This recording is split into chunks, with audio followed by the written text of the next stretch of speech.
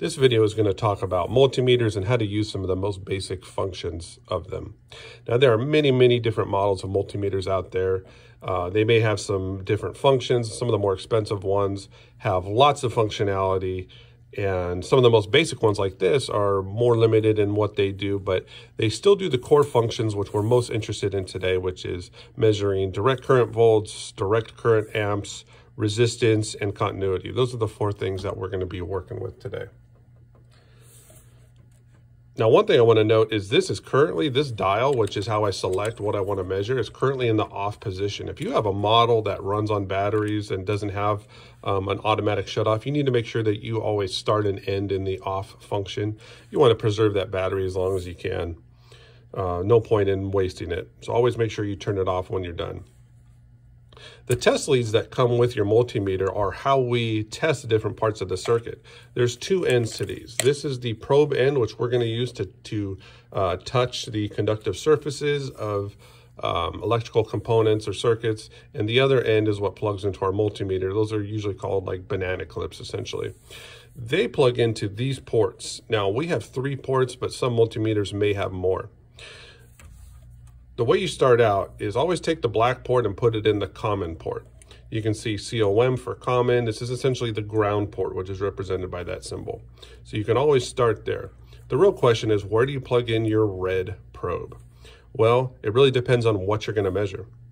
Uh, as you can see here, there are, there's text that you have to read to figure out what port you need to use for what measurement you want to take this symbol, if you can see here, there's there's V for volts, there's the ohm symbol, there's milliamps. So for most of the measurements, this is what I'm going to want to use. If I'm trying to measure direct current that's greater than the milliamp capacity of this port, then I have to bump it up to this port. But you do have to be careful because this is an unfused port. So if you were to be in the wrong setting and, and stick it in the wall port, you could um, blow circuitry in this thing. You could kind of damage this irreparably. So just one thing to be aware of. Always make sure what you're measuring before you do it because you don't want to destroy your multimeter. All right, that said, for our volt measurements, we're going to plug into this port. And let's go ahead and start off with a, a, basic measurement of volts. So I have this battery up here that's a 9 volt battery. Now, the question might be, well, I don't know which range to put this in. Well, why don't you try and find out? Uh, this is a fused port, so you are not going to damage anything by testing. Let's go to the, to the lowest setting here of 200 milliamps, and let's see what happens when I test this battery. So if I touch both ports on the battery, both terminal connections, what's it going to do? It's going to give me a 1. That's telling me that the um, that I am out of the range to measure this. Let's try the next one up. Am I in range or out of range? Again, I am out of range. Let's go to 20. 20 volts. Am I in range? Absolutely. I mean, if you think about um, the ranges, essentially what's happening here is this is telling me the maximum capacity of the ranges. So if I have a 9 volt battery and I'm measuring a 20 uh, volt maximum, that's probably the perfect um, setting to measure it on. So let's do that again. Perfect, 9.3 volts. That's probably actually a healthy 9 volt battery. Now, if I were to turn the range up here, what you're gonna see is the decimal point move from here to here. And if I were to go to the next one, it would probably disappear. So what this range is doing is it changed it by a factor of 10 from 20 to 200. So it moved that decimal point. Now, if I go to 1,000, I lose the decimal point entirely and I read a very, very small number that's not very accurate.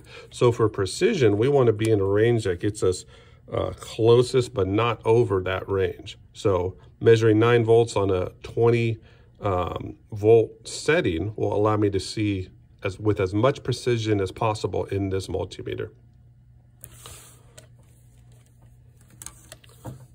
So that's how you measure direct current volts.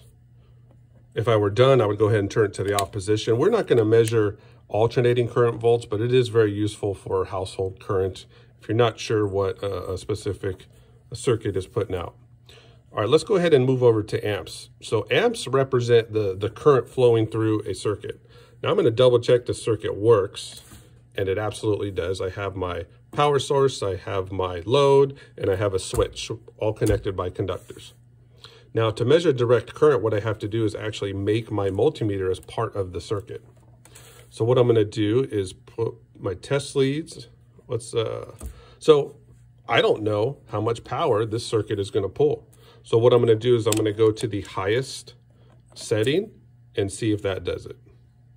Nope, that overloads. Well, maybe it needs to be on the other side. Do a little exploration here. Is that functional? Well, it's not working because that light is not coming on. So clearly the maximum capacity for current for this port that I chose is lower than the amount of, of amperage that that bulb needs. So here's a place where I could go to the um, alternate port that has a higher capacity and I could test that. Oh, hey, look, that works. So I'm pulling basically a, a quarter amp according to this. And as you can see here, that decimal point moved. I just kind of wanted to see what it would do because this is a good time to explore.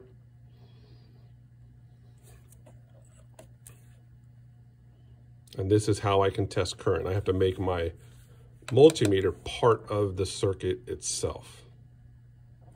And then I can simply take the reading, get as precise a setting as I can, and take the reading. So we've talked about volts, we've talked about amps, both in direct current. Now let's talk about resistance. So resistance is essentially um, how much the wire itself or the conductor or the, the part, the component, is resisting the flow of electrons. I have this, it's actually a spark plug wire. And one of the things about spark plug wire is they're very sensitive to ohms per foot or resistance. So this is about a 500 um, ohms per foot spark plug wire. So let's test it out and see if, if, that, if we can confirm that. So I'm going to touch my probes to both sides of this. And let's see what it says. Oh, actually, since I'm measuring resistance, I have to change to this board.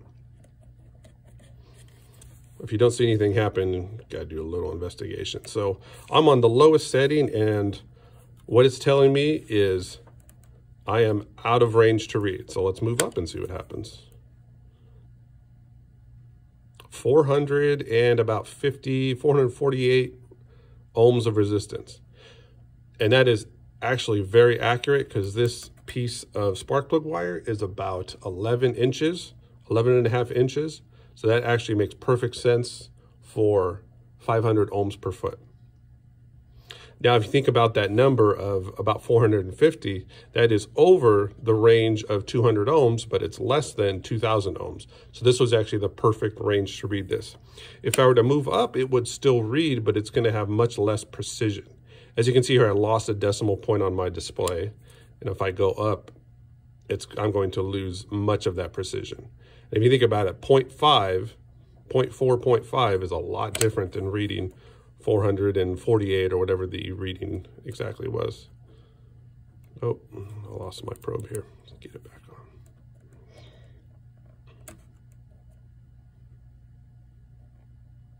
Oh, that's interesting. I'm reading something a little different now.